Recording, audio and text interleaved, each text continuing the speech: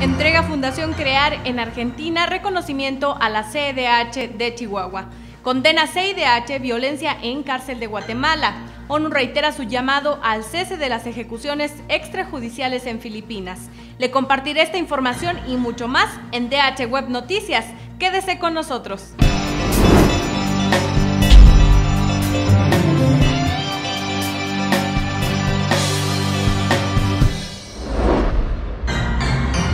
Mi nombre es Marcela Zamudio y le doy la bienvenida a este espacio informativo Derecho Humanista.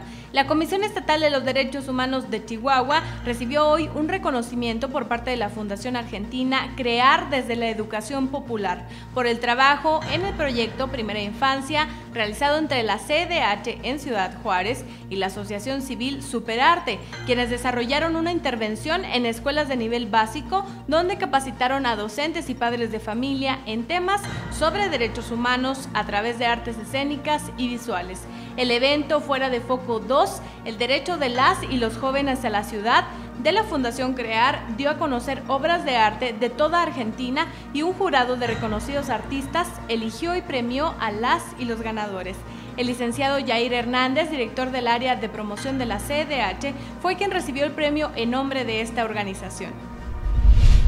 La Comisión Interamericana de Derechos Humanos expresó preocupación por los hechos de violencia ocurridos en la cárcel Granja Penal Pavón en Guatemala, en donde 14 personas perdieron la vida y otras 10 más resultaron heridas. Según información oficial, al momento del enfrentamiento, 129 personas estaban de visita en el centro penitenciario, las cuales fueron evacuadas por las fuerzas de seguridad y serán investigadas para determinar su posible responsabilidad. Por lo anterior, la Comisión Interamericana urgió al Estado a investigar y esclarecer las circunstancias en que ocurrieron estos hechos y en su caso identificar y sancionar a los responsables. El periodista Edwin Martínez Tapia y el abogado José Miranda Aquilo fueron designados por el defensor del pueblo de Bolivia, David Tesanos Pinto, como representantes departamentales de la institución en Chuquisaca y en Potosí respectivamente.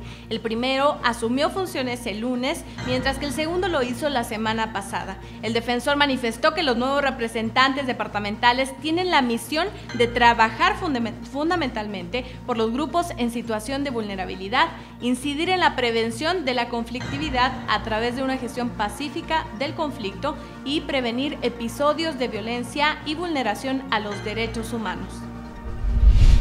En un recorrido realizado por la Defensoría del Pueblo de Panamá en Darién, se detectaron más de mil migrantes ubicados en los campamentos del Servicio Nacional de Fronteras en los pueblos de Sansón, Canglón y Yavisa. Durante el recorrido de la Defensoría del Pueblo, varios de los migrantes expresaron su preocupación debido a que el dinero que tenían ya se les terminó y no tienen cómo adquirir sus alimentos. Además, los trámites que realizan las autoridades son muy lentos. En el comunicado del organismo se informa también que entre las personas migrantes hay niños y mujeres embarazadas y no cuentan con medicamentos. Aunado a esto, tienen que dormir en el suelo y hacer sus necesidades en cualquier parte.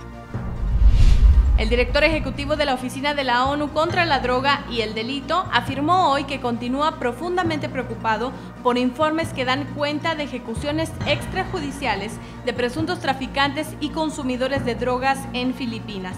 En un comunicado, Yuri Fedotov se unió a los llamamientos realizados por el secretario general de la ONU de condena al aparente apoyo de las autoridades a ese tipo de ejecuciones, que son ilegales y constituyen una violación de los derechos y las garantías fundamentales.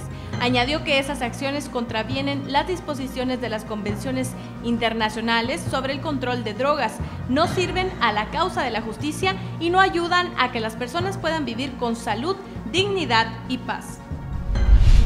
Así concluimos con la información derecho humanista más destacada para este día. Continúe informándose a través de este espacio DH Web Noticias. Hasta luego.